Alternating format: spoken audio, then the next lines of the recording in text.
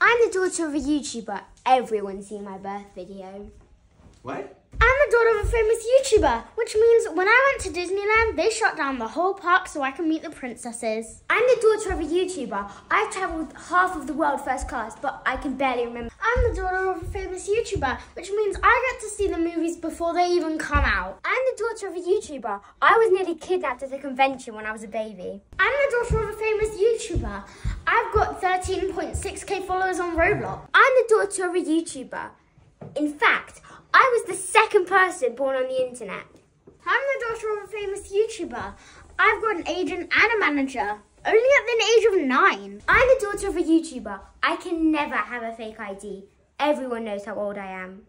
I'm the daughter of a famous YouTuber, which means I get to spin the wheel and do cool